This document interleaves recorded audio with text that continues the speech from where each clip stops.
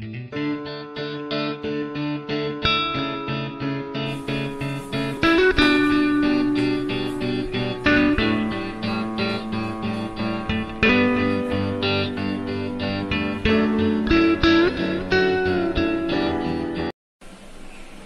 दोस्तों, जैसा कि आप जानते हैं विंटर का सीज़न है और मार्केट में ग्रीन मटर भी बहुत मिल रही है। तो चलिए, आज हरे मटर की चटपटी चाट बनाते हैं। तो देखते हैं इसे बनाने के लिए हमें कौन कौन से इंग्रेडिएंट चाहिए होंगे।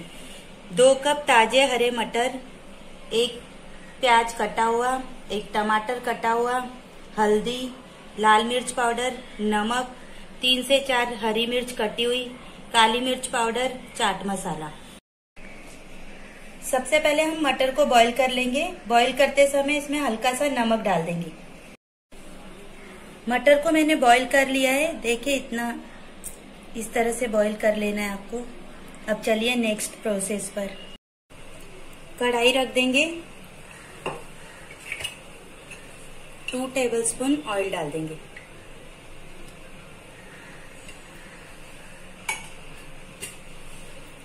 ऑयल को गरम कर लेंगे। ऑयल के गरम होते ही हरी मिर्च डाल देंगे।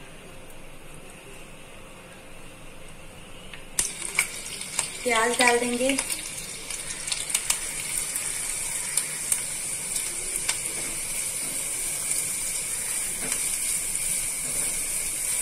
प्याज को अच्छे से सॉफ्ट होने तक पका लेंगे।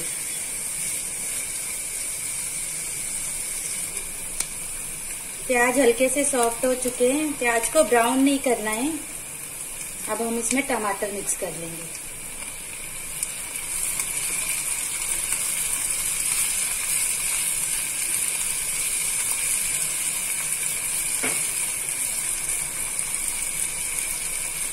टमाटर को ढक के गला लेंगे।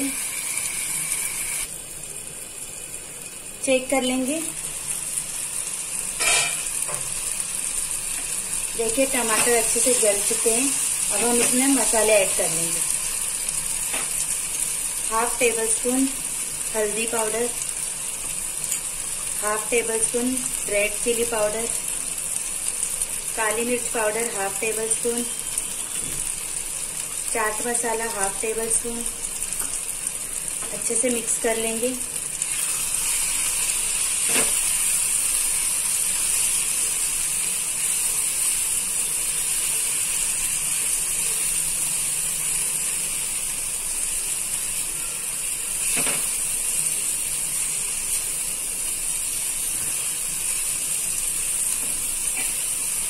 मसाले अच्छी तरह से मिक्स हो चुका है।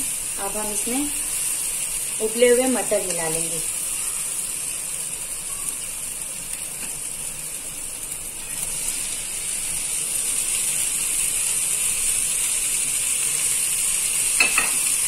मिक्स कर लेंगे।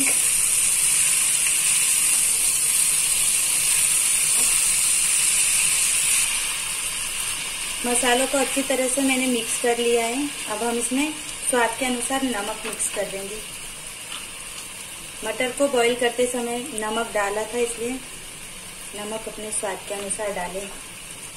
मिक्स कर लेंगे।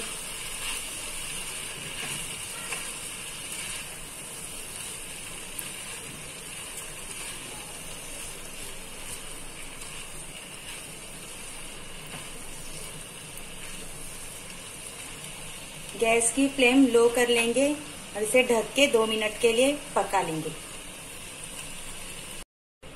दो मिनट बाद चेक कर लेंगे।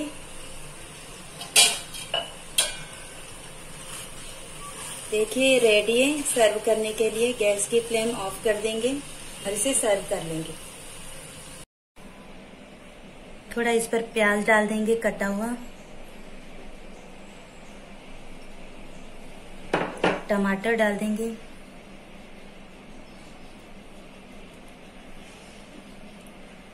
तीखा ज़्यादा पसंद करते हैं तो चिली फ्लेक्स डाल देंगे।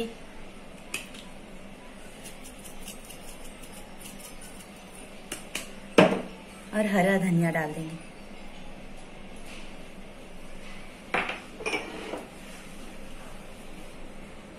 रेडी है? विंटर स्पेशल चटपटी मटर चाट।